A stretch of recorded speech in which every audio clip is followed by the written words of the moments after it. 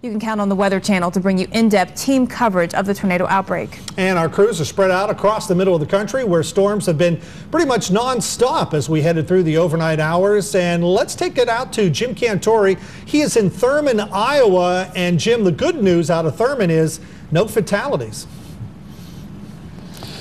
Oh my goodness! When you think about a town that's been uh, about 75% damaged or destroyed, Jeff, that that is phenomenal news, almost miraculous news, if you ask me. But uh, this is kind of a testament to this whole outbreak, guys.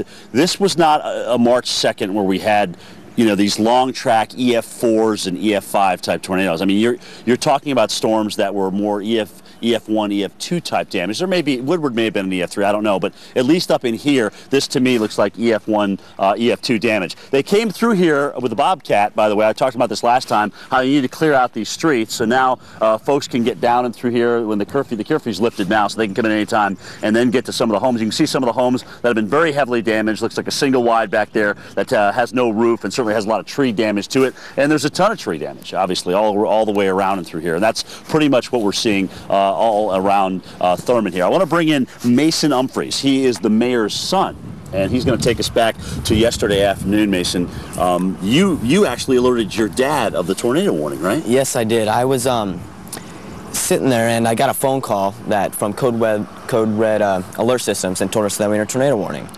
Well, at that point, I told Dad, and he left and turned on the sirens. the siren. Yes, right, yes. Right, right. And um, about two minutes after the sirens were done, it it hit and it hit hard.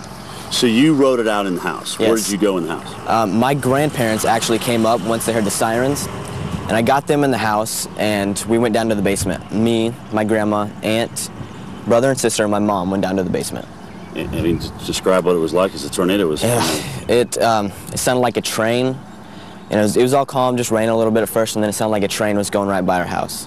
But real quick, I mean, yeah, it 30 seconds a minute, yeah, it's over, right? Yeah, maybe at the most two minutes, and then it was done that fast. Everybody okay? Yes. Damage? Um, we have damage to our um, house. Um, shingles are gone, some gaffling, a lot of tree damage.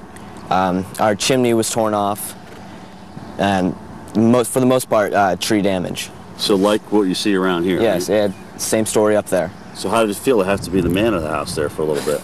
It, it's, um, it's surreal. It is. It, you know, Dad um, I ran outside and checked how everything was after it calmed down, and he's he got um, a ride up to the house because he could barely move anywhere in town at that point. Right. And he was just in awe, you know, hoping we were all right and coming. So when your dad went to sound the siren, obviously there was a disconnect. When did you touch base with him again um, after uh, after you guys took refuge in the basement? I went up after I, the roar calmed down, and uh, I told my parents, or my mom and my grandma, that they didn't really want to see what was outside. So, and I went back down and I uh, talked to them for a little bit and I went back up and I ran outside and really got to experience the damage and I saw my dad get dropped off and running up praying we were all right and it's, it, it's just in awe, you know, hard to see. Is it tough to look at your town like this? It is, it's very tough, you know. I've lived here my whole life and I've never seen anything like this and I don't really think I'll ever will again, or hopefully anyway. Have you had a chance to talk to any of your friends?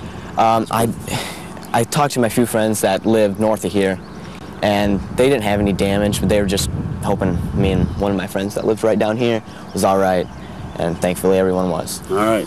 You're a brave young man, Mason. Thanks Thank for talking to Anytime. us. Uh, taking care of his family. Well, his dad is out taking care of the town here uh, in Thurman, Iowa. So, uh, guys, a lot of cleanup to be done, but uh, as we've uh, been told, certainly from, from Mason's dad, that we're going to see the residents coming back in here very, very shortly. We're going to see the power crews continue to put up the poles, and even volunteers will be let in around noontime today to uh, get us, of course, a little bit of help in the cleanup effort as well. So, all around good news here, especially with just minor injuries. Amazing, amazing when you look around and see this damage. Jeff, back to you. All right. Thank you very much, Jim Cantore from Thurman, Iowa.